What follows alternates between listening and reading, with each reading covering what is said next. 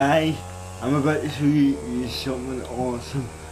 We, me and my friend, the gaming koala, were roaming about in Freeland like, like we always do, and we came across a glitch. It's like Portland, it's GTA 6 guys. Wink wink. Not really, it's you. Spot it. You ready to see this? And bit too fast. Yeah, I know. Don't be coming up here too fast. And my My friend God, dies whenever he goes in it. My friend literally just collapses. I, I'm not allowed to go in it. He's not allowed to go in it, but I am. Oh, we rank 100 probably. Maybe, maybe only about hundreds. I don't know. Guys, And that's my bike to go into. tell me. I can get back right there.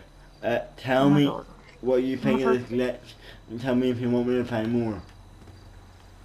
Peace.